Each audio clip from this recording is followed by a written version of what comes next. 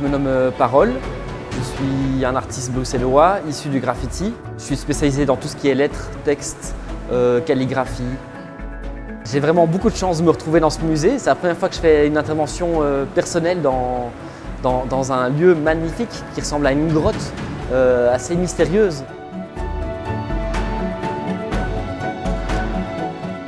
Pour moi, les mots, c'est comme des armes. C'est très puissant. Ça m'inspire beaucoup.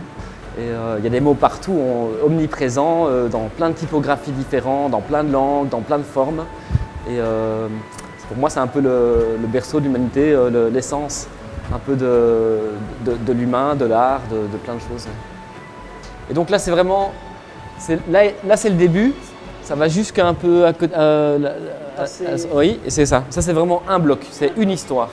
Ce que j'ai fait comme travail ici, c'est vraiment que des c'est seulement des retranscriptions de- de- d'histoires des gouttiers. C'est leur vécu, leurs premiers jours et leurs premières heures dans, dans les égouts. Donc c'est des histoires des fois euh, drôles, mais aussi euh, pas faciles. On, sent euh, à travers leurs paroles que c'est des conditions de travail pas faciles. Quoi. Des fois, ils doivent être abaissés, ils sont dans des lieux très obscurs, avec des petites lampes, avec toutes sortes de sons. Et ouais, tout ça m'a très inspiré. Et j'aurais expliqué euh, toute ma manière de, travailler, donc que j'écrivais des textes des égoutiers et que j'écrivais des majuscules euh, de manière très fine, inspirée de plein de calligraphies, et que je masque au fur et à mesure avec des traits plus épais. Donc c'est comme s'il y avait plein de déchets qui venaient sur ma typo et qui brouillaient les pistes. Et donc je leur ai montré un peu que je travaillais par ligne et qu'il y avait moyen de décrypter euh, des lettres, des mots.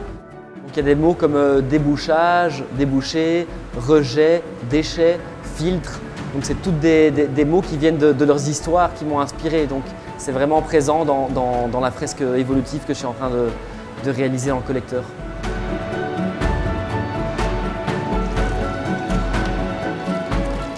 Dans le musée des égouts, il y avait beaucoup de sens euh, à peindre comme ça, euh, avec du blanc meudon. Avec les montées des eaux, ça- ma fresque va disparaître. Ensuite, je vais faire des superpositions de, thèmes, de lettres, de dessins.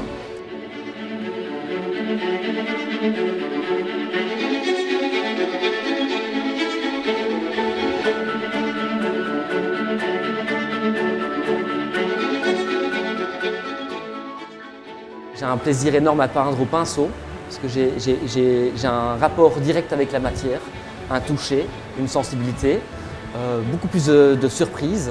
C'est beaucoup plus relié à ma sensibilité, à mon âme en fait.